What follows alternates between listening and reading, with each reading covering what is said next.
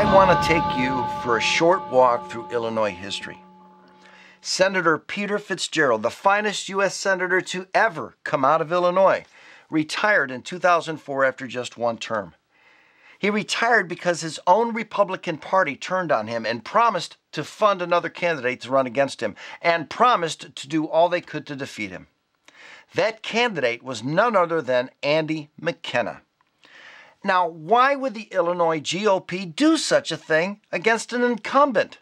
That's because this particular senator was his own man, a true servant of the people, who based his vote on what was best for America. He wasn't a lackey for his party, did not push pork home, and did not give special interests the time of day. That got him in trouble with the Illinois GOP party. Peter Fitzgerald was a principled man. He proved over and over again to be that rare Washington commodity in one term. For that, he was attacked from within. So, what stands did Peter Fitzgerald make to cause such a betrayal from his own party? He opposed federalizing Chicago's O'Hare Airport. Congress, under Denny Pork Hastert, approved the $13 billion deal without any input from local Illinois residents, who would have had their homes bulldozed. He was the only senator in the U.S. Congress to vote against the $15 billion airline bailout, even though United Airlines is based in Illinois. Fitzgerald next earned the wrath of fellow Republican and Speaker of the House Denny Hastert by refusing to support efforts to secure a glut of federal funds for the Abraham Lincoln Presidential Library located in Illinois. Hastert pulled rank to secure the money, and Fitzgerald criticized Hastert publicly. Fitzgerald had many run ins with Hastert over his six years' term. One can only guess that Speaker Hastert's disgust with Fitzgerald's principles, refusal to play a game Hastert himself had mastered. Wasting taxpayer dollars on needless home district pork barrel projects. Remember, Hastert was Speaker of the House. He set the agenda.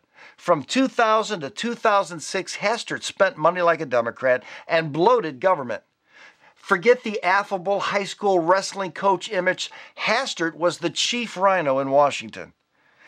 Senator Fitzgerald's final sin was to nominate someone outside the state to serve as U.S. Attorney for the Northern District of Illinois, based in Chicago.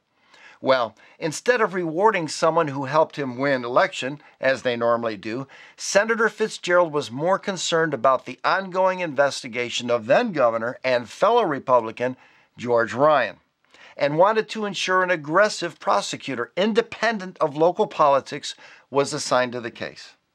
So Peter Fitzgerald went out of state and selected none other than Patrick Fitzgerald, who has no relation with our Senator Fitzgerald, and who indicted Ryan and more recently Governor Blagojevich on corruption charges. This is part of Senator Peter Fitzgerald's ongoing legacy. Senator Peter Fitzgerald was the greatest senator to ever come out of Illinois, and yet our own state GOP party opposed him and prevented him from running for a second term.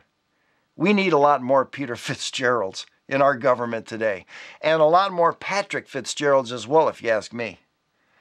Besides paying an overdue tribute to a great man today, I wanted to demonstrate the level of corruption our Illinois Republican Party has demonstrated over the years. Two decades ago, then Governor Jim Thompson pushed a bill through that effectively stripped all Republicans statewide from having any say over who runs the state party. Immediately, accountability was lost. We've seen Illinois go from a red state to a blue state. We've seen our finest senators run out of office. We've seen our party officials support RINO candidates. We've seen the very destruction of the real Republican Party in Illinois. However, there is hope on the horizon. Another great man who has faced his own share of pressure from our state GOP, Senator Chris Lauzen, has introduced a bill in the Senate called Senate Bill 600, which would once again restore our ability as Republicans to choose who runs our party in Illinois? Accountability is coming back, folks. However, Andy McKenna opposes SB 600 as well as 18 of the 19 Central Committeemen. They are pressuring our elected officials to vote against SB 600. In fact, Andy McKenna has stated if the bill does pass, he will take it to court. Isn't that ironic? The Republican Party of Illinois using our own donations to deny us the right to vote members of the Central Committee and the General Party. I emailed some members of the committee and Andy McKenna requesting an interview on SB 600. Needless to say, I have not gotten one response. If you want a real eye opener, visit championnews.net. They have been on top of this for years. Folks, hasn't enough damage been done to our party? Hasn't enough good people paid a huge price for standing up for true conservative principles? Support SB 600 by contacting all your representatives today. Your voice matters. Get your rights back. Get your party back. And let's ensure what happened to Senator Peter Fitzgerald can never happen again to any upstanding patriot. It all starts by supporting SB 600.